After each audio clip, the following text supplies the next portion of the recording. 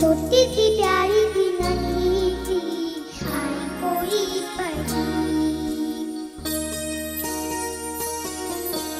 छोटी सी प्यारी भी नहीं थी